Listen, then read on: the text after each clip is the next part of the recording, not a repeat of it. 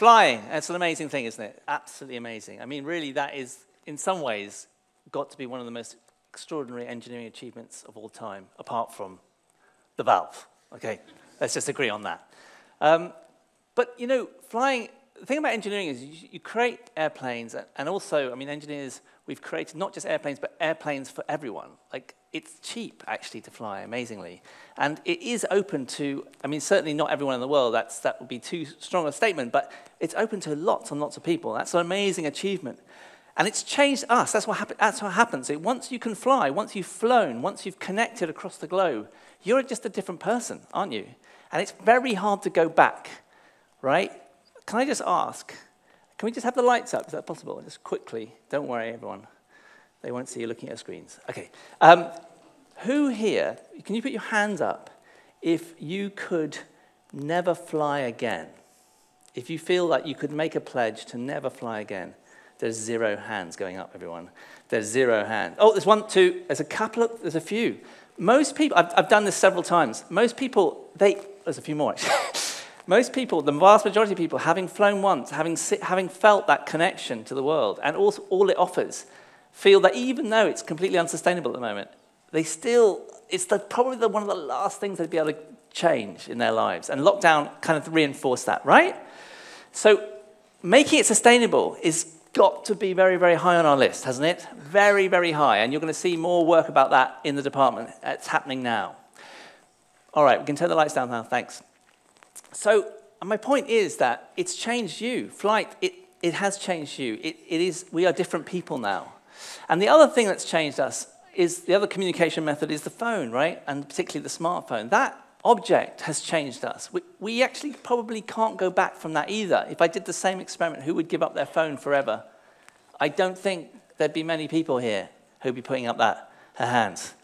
Um, but so the problem with the phone is, is that although we love it and we're kind of into it, and it's changed us as people, it's designed to fail.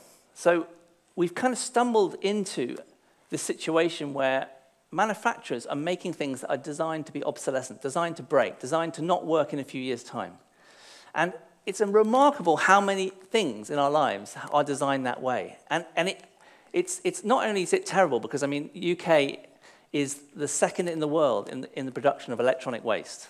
So we have mountains of waste, and we don't know what to do with it, and it's causing all sorts of problems in terms of environment and pollution, and everything. And yet we still keep buying stuff, and the manufacturers still keep making stuff that breaks, and it isn't repairable, and you can't even change the battery on them, which seems mad. And it kind of is a kind of madness. But that is going to change. In fact, that is one of the big revolutions coming.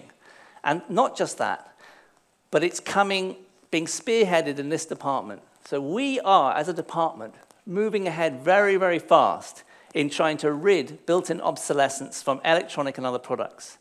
And we're doing it in many ways. We're doing it in the department practically. So the mech space repair workshops, go to them, take part in them, because this is crazy that we've stumbled into this situation.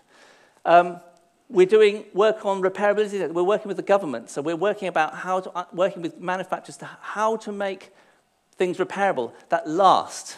And we're also doing stuff on how to make materials and, and electronics heal themselves. So materials that heal themselves. So all these kind of all these kind of bits of engineering are happening in the department now. And you can take part in it, you can be a part of it, and I think you should be a part of it.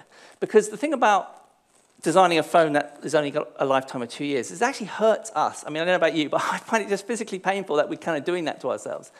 And we can make a phone that will last 50 years. We can do this on one charge. No, perhaps we can't do that. But maybe, maybe we can. Some people are nodding. So look, there is really no limit to what we can do as engineers.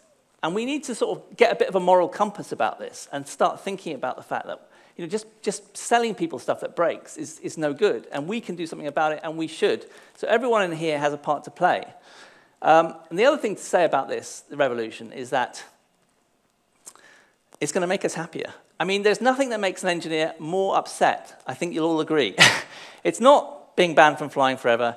It's not never having a phone. It's discovering an object that isn't quite working correctly. And I, can, I, I can just see a better way of making it. And that is the core of engineering, isn't it? We actually make things better, and we can do that with the products in our homes. So, viva the revolution! Repairability!